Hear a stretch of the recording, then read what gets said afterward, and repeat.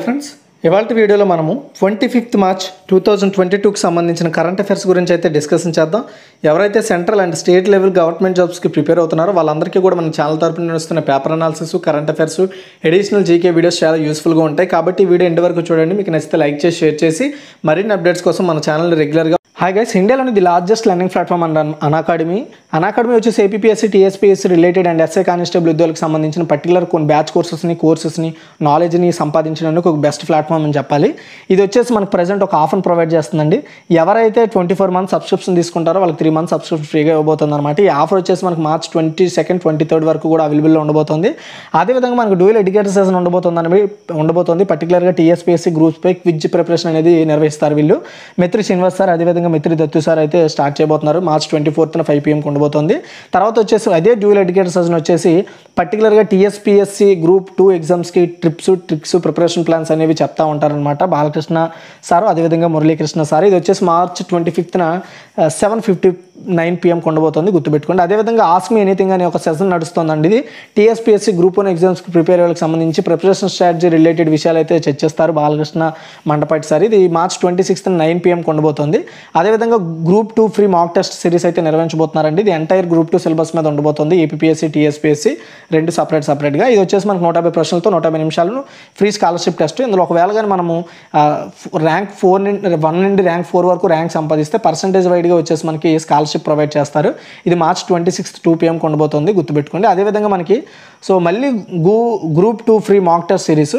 ఇది మనకు వచ్చేసి ట్వంటీ సెవెంత్ ఉండబోతుంది అంటే ట్వంటీ సిక్స్త్ ఒకటి ట్వంటీ సెవెంత్ ఒకటి అనమాట ఇది నూట యాభై ప్రశ్నలు నూట యాభై నిమిషాలు free scholarship test entire group two syllabus మీద. ఇందులో కూడా ర్యాంక్ వన్ నుండి ఫోర్ వరకు ర్యాంక్ సంపాదిస్తే పర్సంటేజ్ వైడ్గా మనకు స్కాలర్షిప్ ఇస్తారు సబ్స్క్రిప్షన్లో ప్లస్ సబ్స్క్రిప్షన్ తీసుకుంటే మీకు వచ్చే బెనిఫిట్స్ ఏంటంటే నచ్చిన ఎడ్యుకేటర్ని ఫాలో అవ్వచ్చు. మొత్తం కంప్లీట్ సిలబస్ క్లియర్ చేస్తారు. రెగ్యులర్గా డౌట్ క్లియర్ సెషన్స్ ఉంటాయి. అదేవిధంగా free test series week weekly mock టెస్ట్లు కూడా కండక్ట్ చేస్తారు. ఫ్రీకి ప్లస్కి డిఫరెన్స్ చూసుకుంటే ఫ్రీలో అన్ని కూడా లిమిటెడ్ ఇస్తాడు. బట్ ప్లస్ సబ్స్క్రిప్షన్ తీసుకుంటే అన్ని కంప్లీట్ అన్లిమిటెడ్లో అయితే మీరు పొందొచ్చు. అనమాట అండ్ నేను యాక్చువల్గా ఇందులో వన్ మంత్ సబ్స్క్రిప్షన్ వచ్చేసి పదిహేడు వందల రూపాయలండి. కానీ మీరు ఇక్కడ కింద నేను షో చేస్తున్నాను ఈడియూ టెక్ టెన్ అనే కోడ్ ఈ కోడ్ వాడితే మీకు టెన్ పర్సెంటేజ్ డిస్కౌంట్ అంటే పదిహేను వందల ముప్పై రూపాయలకి వస్తుంది పదిహేడు వందల రూపాయలది. ఈ యొక్క కోడ్ నేను డిస్క్రిప్షన్లో ప్రొవైడ్ చేస్తాను ఇక్కడ కూడా మీకు షో చేస్తాను మీరు చూడొచ్చు. గుర్తుపెట్టుకోండి ఈ కోడ్ వాడితే మీకు సబ్స్క్రిప్షన్లో బెస్ట్ ఆఫర్స్ వస్తాయి. మీరు మిస్ కాకండి మన కోడ్ ఈడియూ టీఈసీ టెన్ అనే కోడ్ వాడండి. మీకు మంచి మంచి ఆఫర్స్ అవి అప్లికేబుల్ అవుతాయి. అండ్ మీకు వచ్చేసి సబ్స్క్రిప్షన్లో కూడా డబ్బులు తగ్గుతాయి. ఓకేనా? దీనికి సంబంధించిన లింక్స్ అన్ని డిస్క్రిప్షన్లో ఉంటాయి. ఎవరికైనా ఇంట్రెస్ట్ ఉంటే ట్రై చేయొచ్చు. ఫాలో అవుతూ ఉండండి. ఈరోజు మన మొదటి క్వశ్చన్ చూసుకుంటే ఏ దేశం హాసాంగ్ సెవెంటీన్ అనే క్షిపణిని ప్రయోగించింది అంటే ఉత్తర కొరియా అండి. చూడండి అతిపెద్ద ఖండాంతర బాలిస్టిక్ క్షిపణి దీని ఐసీబిఎం అంటారు. దీనిని పరీక్షించినట్లుగా ఉత్తర కొరియా ప్రకటించింది. దీని పేరు హాసాంగ్ సెవెంటీన్ అనమాట ఈ మిజైల్ను first time two thousand twenty టూలో డెవలప్ చేశారు. భారీ సైజు ఉన్న ఆ క్షిపణిని పరేడ్లో ప్రదర్శించడం కూడా జరిగింది. అండ్ రెండు వేల పదిహేడు తర్వాత మళ్ళీ ఉత్తర కొరియా తొలిసారి ఐసీబీఎంను పరీక్షించినట్లుగా తెలుస్తోంది. ఈ అసాంగ్ సెవెంటీన్ అనేది అతిపెద్ద ఖండాంతర బాలిస్టిక్ క్షిపణి. ఓకే? అండ్ ఖండాంతర క్షిపణులు సుదీర్ఘ దూరం ట్రావెల్ చేస్తాయి. అంటే చాలా దూరంలో ఉండే వాటిని రీచ్ చేయగలిగితే. ఉత్తర కొరియా నుంచి అమెరికా వరకు ఈ భారీ క్షిపణి అయితే వెళ్ళగలదు. వాస్తవానికి ఉత్తర కొరియాపై ఆ క్షిపణుల పరీక్ష అనేది బ్యాన్గా బ్యాన్లో ఉంది. కానీ ఆ దేశ అధినేత కిమ్ జాంగ్ ఉన్ ఆదేశాల మేరకు ఐసీబీఎం పరీక్ష జరిగినట్లుగా ఆ దేశ మీడియా చెప్తోంది. ఓకే? గుర్తుపెట్టుకోండి. అంటే ఇలాంటి క్షిపణుల ప్రయోగంపై ఉత్తర కొరియాలో నిషేధం ఉంది. కానీ ఆ క్షిపణులు అయితే ప్రయోగిస్తున్నారు. ఎందుకంటే వీళ్ళు ఫ్యూచర్ ఇలాంటివైన వార్స్ జరిగినప్పుడు వాటిని తట్టుకోవడానికి వాటిని క్రాస్ చేయడానికి ఈ పర్టికులర్ మిజైల్స్ అనేవి యూజ్ అవుతాయి. తర్వాత సెకండ్ వన్ భారతదేశంలో కొత్తగా నియమితులైన నేపాల్ రాయబారి ఎవరు? ఆన్సర్ చూసుకున్నట్టయితే శ్రీ శంకర్ ప్రసాద్ శర్మ అండి. మన ఇండియాలో నేపాల్కి అంటే నేపాల్ రాయబారి మన ఇండియా నుండి నేపాల్కి రాయబారి సారీ నేపాల్ నుండి మన ఇండియాకి రాయబారి డాక్టర్ శంకర్ ప్రసాద్ శర్మ ఆ యొక్క నేపాల్ రాష్ట్రపతి కార్యాలయం సిత్తల్ నివాస్లో ఏర్పాటు చేసిన ప్రత్యేక కార్యక్రమంలో ప్రెసిడెంట్ విద్యాదేవి బండారి చేతుల మీదుగా ప్రమాణ స్వీకారం జరిగింది. ప్రభుత్వం సిఫార్సుపై అధ్యక్షుడు బండారి మార్చి ఇరవైన భారతదేశంలో కొత్త రాయబారిగా ఆర్థికవేత్త అండ్ మాజీ యుఎస్ అంటే యునైటెడ్ స్టేట్స్ రాయబారి డాక్టర్ శర్మను నియమించుకోవడం జరిగింది. అండ్ గత ప్రభుత్వం నియమించిన అంబాసిడర్ నీలాంబర్ ఆచార్యను ఆరు నెలల క్రితం ఢిల్లీ నుంచి వెనక్కి పిలిపించేశారనమాట ప్రజెంట్ ఆ పదవి ఖాళీ ఉండడంతో ఇప్పుడు ఆ పదవిలో శర్మకు అవకాశం కల్పించారు. అమెరికాలో నేపాల్ రాయబారిగా పనిచేశారు ఆయన. అతను రెండు వేల రెండు మరియు రెండు వేల ఆరు మధ్య ఆ దేశానికి చెందిన జాతీయ ప్రణాళికా సంఘం అంటే నేషనల్ ప్లానింగ్ కౌన్సిల్లో వైస్ చైర్మన్గా కూడా పనిచేసిన ఎక్స్పీరియన్స్ ఉంది ఆయనకి. తర్వాత third one national maritime heritage కాంప్లెక్స్ను నిర్మించనున్న సంస్థ ఇది అంటే టాటా ప్రాజెక్ట్స్ అండి. ఇప్పటికే టాటా సంస్థ మన ఇండియాకు సంబంధించిన కొత్త పార్లమెంట్ నియమించే ప్రాజెక్ట్ను కూడా చేజిక్కించుకుంది. అదేవిధంగా గుజరాత్లోని గుర్తుపెట్టుకోండి గుజరాత్లోని లోథర్ అనే ప్రాంతంలో నేషనల్ మ్యారిటైమ్ హెరిటేజ్ కాంప్లెక్స్ను డెవలప్ చేసే ప్రాజెక్ట్ను కూడా ఇదే దక్కించుకుంది. రీసెంట్గా రిలీజ్ చేసిన బిడ్లో నాలుగు ఐదు వందల కోట్ల కాంట్రాక్ట్తో ఈ బిడ్ని దక్కించుకొని ఆ సంస్థని ఆ పర్టికులర్ ఇరవై నాలుగు నెలలు అంటే టూ ఇయర్స్లో పర్టికులర్గా ఈ యొక్క నేషనల్ మారిటైమ్ హెరిటేజ్ కాంప్లెక్స్ను నిర్మించి ప్రభుత్వానికి అప్పచెప్పాల్సి ఉంటుంది.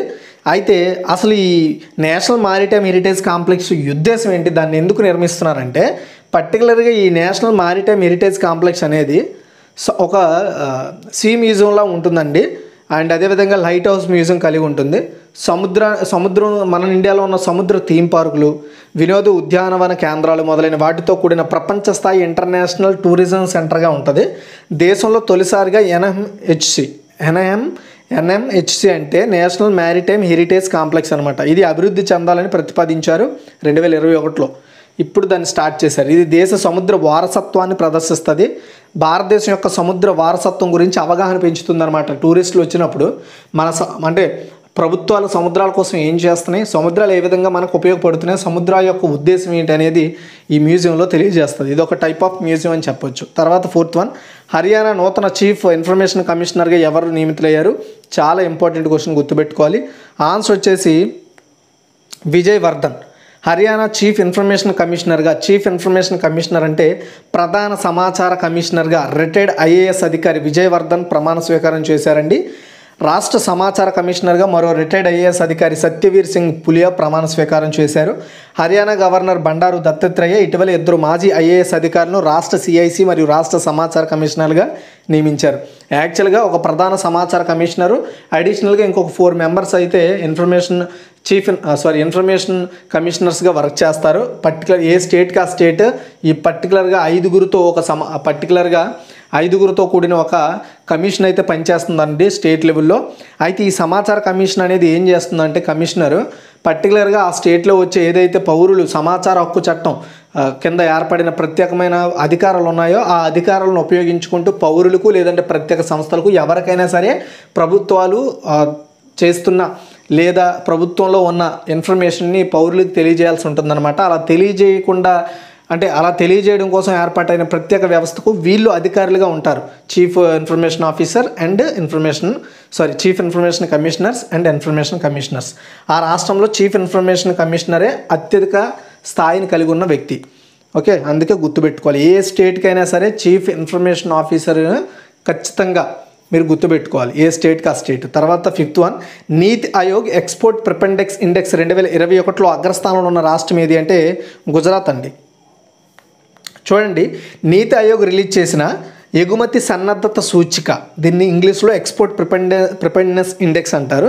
అయితే వీళ్ళు రెండు వేల ఇరవై ఒకటి యొక్క ఇండెక్స్ని రిలీజ్ చేశారు. అంటే రెండు వేల ఇరవై ఒకటిలో ఏ విధమైన ఎగుమతులు జరిగాయి ఎవరు టాప్లో ఉన్నారు అనేది చెప్పడం కోసం ఈ ఇండెక్స్ని రిలీజ్ చేశారు. ఈ ఇండెక్స్లో గుజరాత్ టాప్లో ఉందండి. తర్వాత మహారాష్ట్ర కర్ణాటక వరుసగా రెండు మూడు స్థానాల్లో ఉన్నాయి.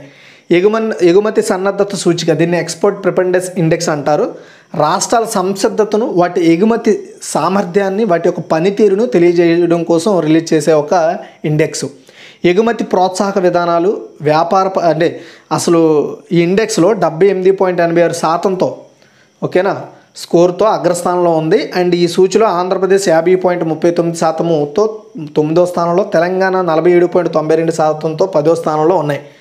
అండ్ ఈ రాష్ట్రాలు రెండు వేల ఇరవై ఇరవై ఒకటిలో భారతదేశంలో యాభై శాతం కంటే ఎక్కువ ఎగుమతి సహకారం అందించడంలో అగ్ర రాష్ట్రాలు. అంటే యాభై శాతం కంటే మించి ఎక్స్పోర్టింగ్ చేయడంలో top five or top nine వరకు నిలిచాయన్నమాట. ఫిఫ్టీ అబోవ్ ఫిఫ్టీ అబోవ్ పర్సంటేజ్లో వేరే వేరే ప్రాంతాలకి ఆ రాష్ట్రాల నుండి ఎగుమతి అయిన సరుకులు కావచ్చు ఉత్పత్తులు కావచ్చు చేసిన వాటిల్లో టాప్ నైన్లో ఉన్నాయన్నమాట. టాప్ నైన్లో ఆంధ్రప్రదేశ్ ఉంది. టాప్ నైన్ వరకు ఫిఫ్టీ పర్సెంటేజ్ ఎగుమతులు చేశాయి.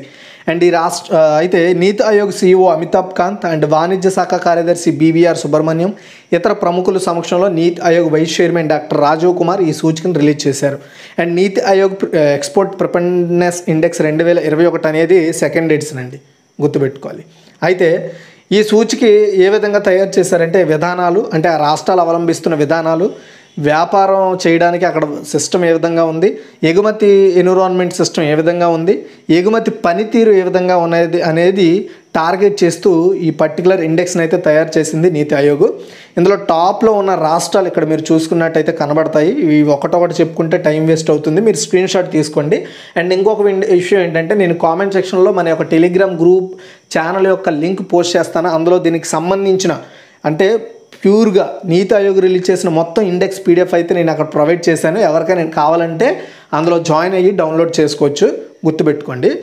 తర్వాత ఇందులో మీరు చూసుకుంటే Andhra Pradesh ninth place Telangana tenth ప్లేస్లో ఉన్నాయండి. స్కోర్స్ కూడా మీరు గుర్తుపెట్టుకోవాల్సి ఉంటుంది. టాప్ త్రీలో ఉన్న స్టేట్స్ కూడా మీరు గుర్తుపెట్టుకోవాలి. Top four three. తర్వాత ఏ రాష్ట్ర ప్రభుత్వం మహాయువ అనే ఒక యాప్ను ప్రారంభించిందంటే మహారాష్ట్ర అండి. మహాలోనే ఉంది మహారాష్ట్ర. సింపుల్గా చెప్తాను ఎందుకోసం అంటే దీనిని మహారాష్ట్ర ముఖ్యమంత్రి ఉద్ధవ్ ఠాక్రే గారు స్టార్ట్ చేశారు. దీన్ని ప్రారంభించడానికి ప్రధానమైన కారణం ఏంటంటే ఆ రాష్ట్రంలో ఎవరైతే నిరుద్యోగులు ఉంటారో లేదా ఎంప్లాయబిలిటీ కావాల్సిన వాళ్ళు ఉంటారో అండ్ ఈ మహా అనే పర్టికులర్ ఏదైతే యువ యాప్ ఉందో మహాయువ యాప్ ఇందులో గవర్నమెంట్ జాబ్స్ గురించి కావచ్చు ప్రైవేట్ సెక్టర్ జాబ్స్ గురించి కావచ్చు ఇన్ఫర్మేషన్ని దానికి కావాల్సిన డీటెయిల్స్ని ప్రొవైడ్ చేస్తుంది. అదేవిధంగా అన్ఎంప్లాయీస్ ఇందులో రిజిస్టర్ చేసుకొని వాళ్ళ ప్రొఫైల్ని ఫిల్ చేసుకోవడం ద్వారా ఏమైనా ఉద్యోగ అవకాశాలు ఉంటే వాళ్ళకి ఇన్ఫర్మేషన్ అనేది పాస్ చేయడం జరుగుతుందన్నమాట. అంటే ఉద్యోగాలకి అన్ఎంప్లాయీస్కి ఇది ఒక మధ్య వారధిగా ఉండడం జరుగుతుందని చెప్తున్నారు. ఈ యాప్ అనేది మరాఠీ హిందీ అండ్ ఇంగ్లీష్లో అవైలబుల్లో ఉంటుందండి. తర్వాత సెవెంత్ వన్ ఎంఎస్ఎంఈ పర్యావరణ వ్యవస్థను అభివృద్ధి చేసేందుకు ఏ రాష్ట్రంతో సిడ్బి ఒప్పందం కుదుర్చుకుంది? చాలా ఇంపార్టెంట్ ఆన్సర్ వచ్చేసి మేఘాలయ అండి. మేఘాలయ రాష్ట్రంలో ఎంఎస్ఎంఈ ఎంఎస్ఎంఈ అంటే ఏంటండి? ఎంఎస్ఎంఈ అంటే సూక్ష్మ చిన్న మరియు మధ్య తరహా పరిశ్రమలు వీటిని ఎంఎస్ఎంఈ సంస్థలు అంటాము. ఈ పర్య ఈ సంస్థలను అభివృద్ధి చేయడం కోసం ఇలాంటి సంస్థలను మేఘాలయ రాష్ట్రంలో ఉండే ఇలాంటి ఎంఎస్ఎంఈ సంస్థలను డెవలప్ చేయడం కోసం Meghalaya infrastructure development and finance corporation లిమిటెడ్తో సిడ్బి అవగాహన ఒప్పందం కుదుర్చుకుంది. SIDBI full form small industries development bank of India.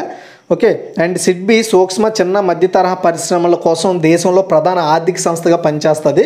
ఇది under central government body and Meghalaya అదేవిధంగా సిడ్బీ మధ్య ఎంఓయు అంటే మెమోరాండమ్ ఆఫ్ అండర్స్టాండింగ్ కుదుర్చుకోవడం జరిగింది. సో ఈ ఎంఎస్ఎంఈల మీద సిడ్బీ అదేవిధంగా మేఘాలయ గవర్నమెంట్ కలిసి పనిచేస్తాయి.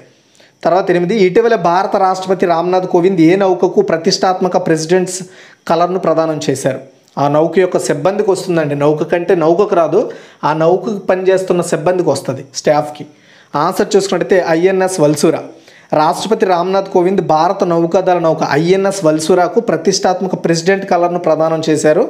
అండ్ శాంతి మరియు యుద్ధంలో దేశానికి అందించిన అసాధారణ సేవలకు గుర్తింపుగా సైనిక విభాగానికి ఈ పర్టికులర్ ఈ ఐఎన్ఎస్ వల్సూరులో ఉండే సైనిక విభాగానికి రాష్ట్రపతి కలర్స్ రాష్ట్ర ప్రెసిడెంట్ కలర్స్ అంటారు దీన్ని. ఈ యొక్క పర్టికులర్ మెడల్ని అందజేశారనమాట పంతొమ్మిది వందల నలభై రెండులో స్థాపించబడిన ఐఎన్ఎస్ వల్సూర భారత్ అంటే ఇండియన్ నేవీలో ఒక ప్రధాన ట్రైనింగ్ షిప్ అని చెప్పొచ్చు.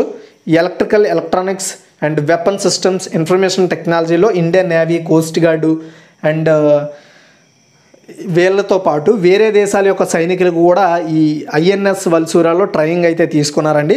ప్రెసిడెంట్ కలర్ అవార్డు అనేది భారతదేశంలో ఏ మిలిటరీ యూనిట్కైనా ఇవ్వబడే ఒక అత్యున్నత గౌరవం. దీనిని నిషాన్ అని కూడా అంటారు. ఇది యూనిట్ అధికారులందరికీ వారి యూనిఫామ్ యొక్క ఎడమ చేతి స్లీవ్పై ధరించి ఒక చిహ్నం అనమాట దాన్ని ప్రొవైడ్ చేస్తారు ప్రెసిడెంట్. తర్వాత వచ్చేసి తొమ్మిది అబేల్ ప్రైజ్ అండి. అబేల్ ప్రైజ్ అనేది మ్యాథమెటిక్స్లో మ్యాథమెటిక్స్లో ఇచ్చే నోబెల్ ప్రైజ్తో ఈక్వల్ అండి. మ్యాథమెటిక్స్లో ప్రావీణ్యం పొందిన మ్యాథమెటిక్స్లో ఇన్నోవేషన్స్ చేసిన వాళ్ళకి ఈ అవార్డు ఇస్తారు. అబిల్ ప్రైజ్ రెండు వేల ఇరవై రెండు అందుకున్నది ఎవరు? ఆన్సర్ చూసుకున్నట్టయితే డెన్నిస్ పార్నెల్ సుల్లివన్. చూడండి Norwegian academy of science and letters రెండు వేల ఇరవై రెండు సంవత్సరానికి అబిల్ బహుమతిని అమెరికన్ గణిత శాస్త్రజ్ఞుడు డెన్నిస్ పార్నెల్ సుల్లివన్కు అందజేసింది. టోపాలజీలో గుర్తుపెట్టుకోండి టోపాలజీ. టోపాలజీ అనేది స్థలము మరియు ఆకృతులను అధ్యయనం చేసే ఒక శాస్త్రము. ఈ దీన్నే టోపాలజీ అంటారు. ఇందులో బీజగణితం రేఖాగణితం డైనమిక్ ఏవైతే ఉంటాయో అలాంటి అంశాలలో అద్భుతమైన రచనలు చేసినందుకు కానీ అవార్డుని అయితే అతనికి ఇచ్చారండి. అండ్ అబెల్ బహుమతి విజేత గణిత శాస్త్రంలో నోబెల్కి సమానం. అండ్ అబెల్ ప్రైజ్ను నార్వే రాజు ఒకరు లేదా అంతకంటే ఎక్కువ మంది అత్యుత్తమ గణిత శాస్త్రజ్ఞులకు ప్రదానం చేస్తారు. దీనికి నార్వేజియన్ గణిత శాస్త్ర సైంటిస్ట్ అయిన నీల్స్ హెన్రిక్ అబెల్ పేరు అయితే పెట్టడం జరిగింది. ఓకే తర్వాత పది. బెర్సామా షీల్డ్ రెండు వేల ఇరవై రెండు శిక్షణ వ్యాయామాన్ని ఏ దేశం నిర్వహిస్తోంది అంటే మలేషియా అండి. చూడండి వార్షిక బేర్స్ వార్షిక అంటే సంవత్సరానికి ఒకసారి జరిగే బెర్సామా షీల్డ్ రెండు వేల ఇరవై రెండు శిక్షణ వ్యాయామంలో Australia New Zealand Singapore United Kingdom వంటి నాలుగు దేశాల నుండి సాయుధ దళాలు పాల్గొంటాయి. ఇందులో ఇక్కడ మలేషియా ఆతిథ్యం అయితే ఇస్తుందన్నమాట ఈ బేర్సామా షీల్డ్ రెండు వేల ఇరవై రెండుకి. పంతొమ్మిది వందల డెబ్బై ఒకటిలో స్థాపించబడిన ద్వైపాక్షిక అండ్ బహుపాక్షిక రక్షణ ఒప్పందాలలో ఈ బెర్సామా షీల్డ్ శిక్షణ వ్యాయామం కూడా ఒకటి. అయితే ఈ శిక్ష శిక్షణ వ్యాయామ కార్యక్రమాన్ని రెండు వేల నాలుగు నుంచి ప్రతి సంవత్సరం నిర్వహిస్తున్నారు. తర్వాత పదకొండు సెంట్రల్ బ్యాంకింగ్ అవార్డ్స్ రెండు వేల ఇరవై రెండులో governor of the year award అందుకున్న మారియో మార్సెల్ ఏ దేశ సెంట్రల్ బ్యాంక్ గవర్నర్. చాలా చాలా ఇంపార్టెంట్ క్వశ్చన్ అండి. ఆన్సర్ చూసుకున్నట్టయితే Chile. Central bank of Chile governor sorry central bank of Chile. ఆ యొక్క governor Mario Marcel central banking awards రెండు వేల ఇరవై రెండులో గవర్నర్ ఆఫ్ ది ఇయర్ అవార్డుని గెలుచుకున్నారండి. Governor of the year award two thousand twenty two అనగానే మీకు గుర్తు రావాలి చిలీ బ్యా central bank governor Mario Marcel. Okay every year ఈ అవార్డ్స్ని అయితే ఇస్తారు. తర్వాత పన్నెండు ప్రళయ్ మోండల్ ఏ బ్యాంకు తాత్కాలిక ఎండి అండ్ సిఇఓగా నియమితులయ్యారంటే సిఎస్బి బ్యాంక్ అండి. సో సిఎస్బి బ్యాంక్ తాత్కాలిక అంటే టెంపరీ మేనేజింగ్ డైరెక్టర్ మరి సీఈఓగా ఉన్న ప్రళయ్ మండల్ నియమకాన్ని రిజర్వ్ బ్యాంక్ ఆఫ్ ఇండియా ఆమోదించింది. అంటే ఆ సంస్థకి సిఎస్బి బ్యాంక్కి ఆయన టెంపరీ ఎండి అండ్ సీఈఓగా ఉంటారు. ప్రస్తుతం ఆయన సిఎస్బి బ్యాంక్లో మేనేజింగ్ డైరెక్టర్గా ఉన్నారు. ఓకే? తర్వాత పదమూడు ఇటీవలే మరణించిన కంప్యూటర్ శాస్త్రవేత్త మరియు గిఫ్ సృష్టికర్త పేరేమిటి? గిఫ్ అంటే మనకు తెలుసు మనం ఎక్కువగా వాట్సాప్లో ఇతర మెసేజింగ్ ప్లాట్ఫామ్స్లో వాడుతూ ఉంటాము. చాలామంది వాడతారు. అండ్ ఇది ఒక యానిమేటెడ్ ఫోటో అనమాట అండ్ దీనిని స్టీఫెన్ వీల్ హైట్ అయితే రూపొందించడం జరిగిందండి. అండ్ ఈయన కో కోవిడ్ కారణంగా ఆయన చనిపోవడం జరిగింది. సో గిఫ్ అంటే గ్రాఫిక్స్ ఇంటర్చేంజ్ ఫార్మేట్. ఈ ఫార్మేట్ సృష్టికర్త స్టీఫెన్ విల్హైట్ డెబ్బై నాలుగు సంవత్సరాల వయసులో చనిపోవడం జరిగింది. ఓకే. తర్వాత పద్నాలుగు బ్యాడ్మింటన్ అసోసియేషన్ ఆఫ్ ఇండియా దీన్ని బిఏఐ అంటారు. దీని యొక్క అధ్యక్షుడిగా తిరిగి ఏకగ్రీవంగా ఎవరు ఎన్నికయ్యారు? చాలా చాలా ఇంపార్టెంట్ క్వశ్చన్ ఇది. ఓకే. ఆన్సర్ చేసుకున్నట్టయితే హిమంత్ బిశ్వశర్మ. గౌహతిలో జరిగిన జనరల్ బాడీ మీటింగ్లో ప్రజెంట్ అస్సాం ముఖ్యమంత్రిగా ఉన్న డాక్టర్ హిమంత్ బిశ్వశర్మ రెండు వేల ఇరవై రెండు నుండి రెండు వేల ఇరవై ఆరు వరకు మరో నాలుగు సంవత్సరాల కాలానికి బ్యాడ్మింటన్ అసోసియేషన్ ఆఫ్ ఇండియా అధ్యక్షుడిగా తిరిగి మళ్ళీ ఏకగ్రీవంగా ఎన్నికయ్యారు. ఎవ్వరు పోటీ లేరు. అతను badminton Asia vice president and badminton world federation executive కౌన్సిల్లో సభ్యుడిగా ఉన్నాడు. మాజీ జూనియర్ జాతీయ కోచ్ సంజయ్ మిశ్రా ఈ సంస్థకి ఈ బాడీలో కొత్త జనరల్ సెక్రటరీగా కొత్త ఎగ్జిక్యూటివ్ కౌన్సిల్లో ప్రస్తుత అజయ్ కుమార్ సింఘానియా వైస్ ప్రెసిడెంట్గా ఎన్నిక కావడం జరిగింది. ఓకే? తర్వాత పదహారు. ఇంటర్నేషనల్ లేబర్ ఆర్గనైజేషన్ నూతన డైరెక్టర్ జనరల్గా నియమితులైన మొదటి ఆఫ్రికన్ ఎవరు? చాలా ఇంపార్టెంట్ క్వశ్చన్ అండి. చాలా చాలా important very very important question. Answer వచ్చేసి గిల్బర్డ్ ఎఫ్ హాంగ్బో. ఓకే? చూడండి ఇంటర్నేషనల్ లేబర్ ఆర్గనైజేషన్ తదుపరి అంటే కాబోయే డైరెక్టర్ జనరల్గా లేదా నూతన డైరెక్టర్ జనరల్గా టోగో నుండి టోగో నుండి గిల్బర్డ్ ఎఫ్ హాంగ్బో ఎన్నిక కావడం జరిగింది. హాంగ్బో ప్రస్తుతం international fund for agriculture development IFAD అధ్యక్షుడిగా ఉన్నారు. జెనీవాలో జరిగిన వారి అంటే జెనీవాలో జరిగిన మీటింగ్లో సో ఐఎల్ఓ ఒక పాలక మండలిచే అతను ఎన్నుకోబడ్డాడు. అతను ఐఎల్ఓ యొక్క పదకొండవ డైరెక్టర్ జనరల్ మరియు ఆ పదవిని నిర్వహిస్తున్న ఫస్ట్ ఆఫ్రికన్ అవుతాడు ఐఎల్ఓలో. గుర్తుపెట్టుకోండి ఐఎల్ఓ అనేది ప్రపంచ దేశాలకు సంబంధించిన కార్మికుల సంఘం అండి ఇది. కొత్త డైరెక్టర్ జనరల్ పదేళ్ళ ఐదేళ్ళ పదవ కాలము అక్టోబర్ ఫస్ట్ రెండు వేల ఇరవై రెండు నుండి స్టార్ట్ అవుతుంది. యునైటెడ్ కింగ్డమ్కి చెందిన ప్రస్తుత డైరెక్టర్ జనరల్ గై రైడర్ రెండు వేల పన్నెండు నుండి ఐఎల్ఓ ప్రెసిడెంట్గా ఉన్నారు. ఇప్పుడు ఆ పదవిని ఇప్పుడు ఆ పర్టికులర్ పదవిని గిల్బర్డ్ ఎఫ్ హాంగ్బో తీసుకోబోతున్నారు. ఓకే? గుర్తుపెట్టుకోండి. చాలా ఇంపార్టెంట్ క్వశ్చన్ అండి ఇది. మీరు గుర్తుపెట్టుకోవాలి. సో ఒకసారి మనం కిక్ రివ్యూ కూడా చూద్దాము. ఏ దేశం హోసంగా సెవెంటీన్ అనే క్షిపణి ప్రయోగించిందంటే ఉత్తర కొరియా? తర్వాత భారతదేశంలో కొత్తగా నియమితులైన నేపాల్ రాయబారి ఎవరు అంటే శ్రీ శంకర్ ప్రసాద్ శర్మ. తర్వాత క్వశ్చన్ చూసుకుంటే నేషనల్ మారిటైమ్ హెరిటేజ్ కాంప్లెక్స్ నిర్మించిన సంస్థ ఏదంటే టాటా ప్రాజెక్ట్స్. తర్వాత హర్యానా నూతన చీఫ్ ఇన్ఫర్మేషన్ కమిషనర్గా ఎవరు నియమితులయ్యారు అంటే విజయవర్ధన్. తర్వాత నీతి ఆయోగ్ ఎక్స్పోర్ట్ ప్రిపెండెన్స్ ఇండెక్స్ రెండు వేల ఇరవై ఒకటిలో అగ్రస్థానం ఉన్న రాష్ట్రం గుజరాత్. తర్వాత క్వశ్చన్ చూసుకున్నట్టయితే ఏ రాష్ట్ర ప్రభుత్వం మహాయువాని యాప్ను ప్రారంభించిందంటే మహారాష్ట్ర. ఎంఎస్ఎంఈ పరివారణ వ్యవస్థను అభివృద్ధి చేసేందుకు ఏ రాష్ట్రంతో సిబ్బి ఒప్పందం కుదుర్చుకుందంటే మేఘాలయ. ఇటీవల భారత రాష్ట్రపతి రామ్నాథ్ కోవింద్ ఏ నౌకకు ప్రతిష్టాత్మక ప్రెసిడెంట్ కలర్ను ప్రదానం చేశారంటే ఐఎన్ఎస్ కల్స్ వల్సూరా.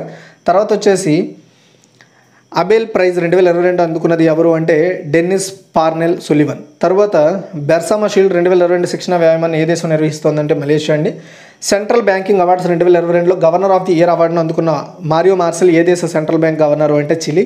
తర్వాత ప్రళయ్ మోండల్ ఏ బ్యాంకు తాత్కాలిక ఎమిడెంట్ సీఓగా నియమితులయ్యారంటే సిఎస్బి బ్యాంకు. ఇటీవల మరణించిన కంప్యూటర్ శాస్త్రవేత్త మరియు జిఫ్ సృష్టికర్త పేరేమిటి అంటే Stephen Wilhite and badminton association of India అధ్యక్షుడిగా తిరిగి ఏకగ్రహంగా ఎవరు ఎన్నికయ్యారంటే విశ్వ సో హిమంత్ బిశ్వశర్మ అండి. ఆయన present Assam chief minister Himanta Biswa Sarma International Labour Organization నూతన డైరెక్టర్ జనరల్గా నియమితులైన మొదటి ఆఫ్రికన్ ఎవరు అంటే Gilbert F Houngbo. Thanks for watching ఈ వీడియో చూసినందుకు షేర్ చేయండి లైక్ చేయండి. మరిన్ని అప్డేట్స్ కోసం మన ఛానల్ ఫాలో